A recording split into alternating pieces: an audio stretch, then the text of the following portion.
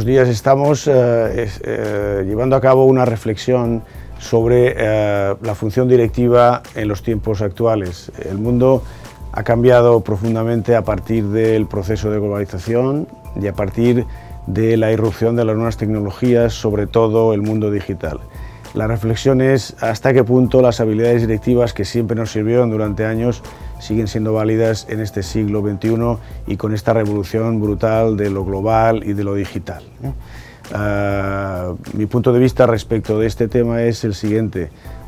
Es necesario adaptarse, es necesario incorporar nuevas habilidades, pero sobre todo sin olvidarse las habilidades históricas que han caracterizado al buen directivo. Sigue siendo importante hacer uh, lo que siempre fue necesario para dirigir compañías, hay que trabajar con visión a largo plazo, hay que trabajar con gestión del cambio, hay que trabajar liderando con el ejemplo, hay que trabajar de manera rigurosa, hay que hacer lo que siempre se hizo, uh, pero hay que incorporar nuevas habilidades porque los tiempos cambian. Eh, parecen tiempos en los que los directivos han de ser mucho más austeros de lo que fueron, porque la crisis mundial uh, y la nueva manera de hacer las cosas está instalada para siempre.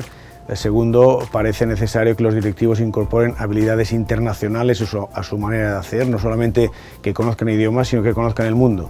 Eh, hablamos de viajeros viajados, de directores y directivos que conocen el mundo, que se encuentran bien en el mundo y que están en este mundo sacándole partido.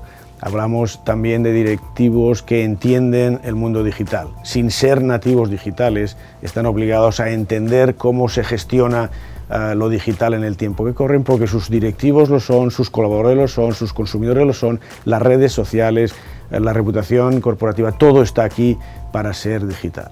Uh, necesitamos una nueva ética, necesitamos directivos que entiendan una nueva ética uh, porque uh, los tiempos han cambiado, la ética de los stakeholders. no solamente hay que satisfacer al accionista, hay que trabajar para todos los colectivos de interés que están en torno al directivo.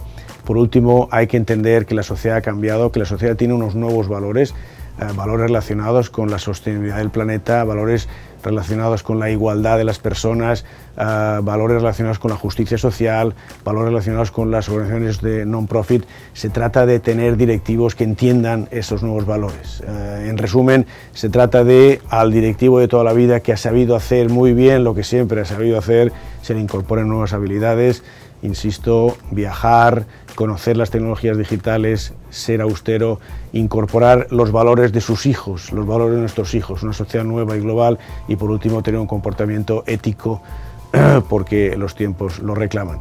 Uh, utilizamos uh, el símil de la cocina peruana. Uh, Perú es un país que tiene una de las mejores cocinas del mundo, pero el famoso Gastón Acurio ha sido capaz de reinventar esta cocina.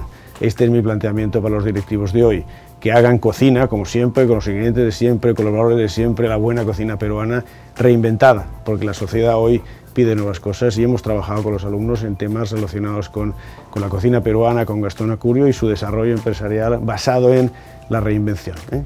Receta de siempre, uh, receta reinventada, vieja cocina, nueva cocina, todo junto, fusión de culturas, esta es la clave.